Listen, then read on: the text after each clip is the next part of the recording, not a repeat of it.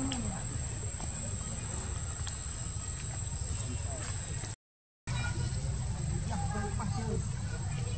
you.